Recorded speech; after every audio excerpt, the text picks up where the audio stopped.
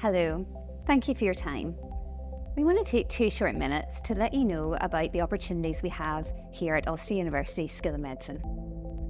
Here, we run a four year graduate entry medical programme, strategically focused towards general practice, where students are out in placement from the fourth week of their first year. Therefore, we're keen to partner with practices across Northern Ireland.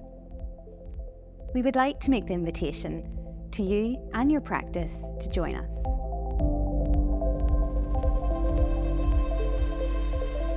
We have a variety of teaching programmes on offer, ranging from protected teaching time, block placements to longitudinal placements, in which students develop meaningful roles. Our students really value their time in general practice, from the impact of their relationship with their GP tutor to feeling part of the team, the ability to conduct consultations, and the variety and complexity of the caseload. Our hope is that students have opportunities to enhance their clinical skills and knowledge but also to develop their professional identity. General practice placements provide rich learning opportunities including exposure to undifferentiated illness, continuity of care, chronic disease and a wide range of conditions through a primary care lens.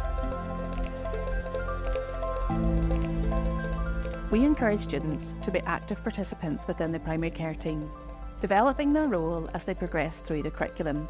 Students' contributions could include supervised mini surgeries, delivering treatment room slots, QI activity, activities which are useful for patients, the practice and appraisal. GP colleagues who take our students tell us that they thoroughly enjoy having them in practice. They bring an enthusiasm, drive to learn, and a contagious optimism which helps make the job more enjoyable. Likewise, we know that time spent in general practice has such a strong positive influence on students' career choice. I still remember my GP placement in a busy practice in Armagh in 1996. I learned lots, felt part of the team, and back then I was dead set on being an orthopod. How things change.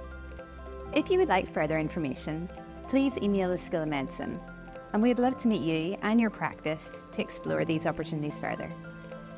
We look forward to hopefully partnering with you and your practice in the future.